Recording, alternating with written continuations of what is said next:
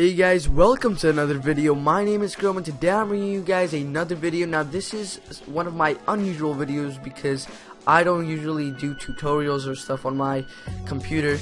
But I found this really useful and a lot of people, I'm sure, wonder how uh, some people get logos or AVIs on their video to just place on their videos because most of the time when you get a logo an AVI, it has a background color. Let's say it's white or anything. For example, this is gray. This AVI is gray and what I'm going to be doing is removing the background so it's just the V, this sign, and the writing so I would be able to use it in my videos and I'm going to be showing you how you can do that with your AVI so you're able to use it in your videos. So you're going to want to open paint.net which is kind of a cheaper version of Photoshop. It's actually free.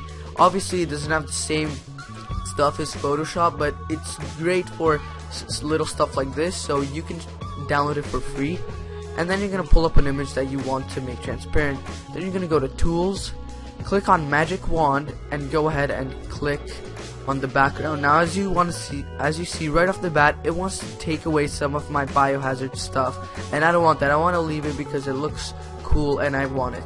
So you are gonna go to the tolerance bar over here and lower it so that it's just like this. Now it's gonna take away most of it, but you're still gonna have a background and that looks ugly. So you're gonna take away some of it, take away some of the tolerance so that you aren't left with that, and then take away even more of the tolerance. Maybe add a little like that. Then you're left with this and you just have to go bit by bit and you can reduce the tolerance to however little you need to you can honestly reduce it to anything up to like 5% and it'll still be useful so definitely do that if you need to and here it usually doesn't take long but if it's a smaller image then nothing will really get deleted and it might kind of um, you might have to zoom in like this. You might have to zoom in in the bottom right. There's like a zoom in button. I think it's cut off on the screen but it's there.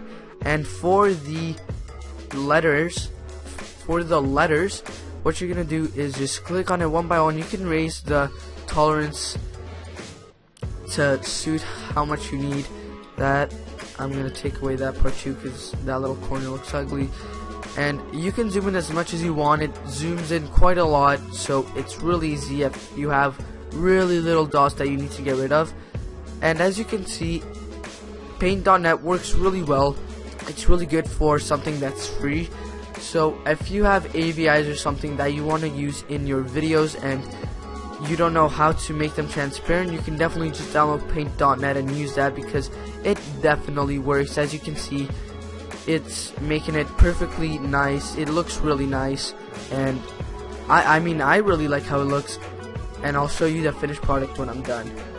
So this is the finished product. As you can see, it looks really nice. The background, there's no background, it's transparent because you can see the white and gray checkered background thingy, and that's what, and that indicates that it's transparent now. And you're gonna go ahead and save it, and I'll go into my editing software and show you that it's complete. So now I'm in my editing software Camtasia Studio 8 and I'm gonna go ahead and open it up and as you can see when I put it in it's just the background nothing else there might be little dots because I didn't spend an unbelievable time on it just going dot by dot but with logos you usually use them in the corner. So if I put them in the corner you know even now you can't even tell that there's those little dots. So that's how you make any picture transparent logo or AVI if you enjoyed this tutorial and video just in general make sure to leave a like and subscribe for more videos coming soon